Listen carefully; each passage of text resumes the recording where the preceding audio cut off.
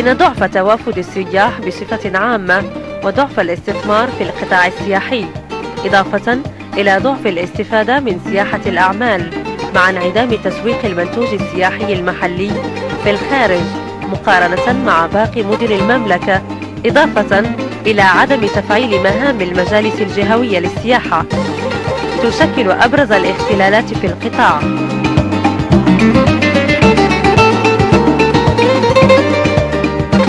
رغم أن الطبيعة في الحقيقة قامت بواجبها تجاه المنطقة واعطتنا بعض المؤهلات اللي كتأهلنا لتأسيس واحد السياحة صحراوية في المنطقة. كنلاحظوا عندنا في العيون كان اللي كنستفيد فقط من ما يسمى بسياحة الأعمال.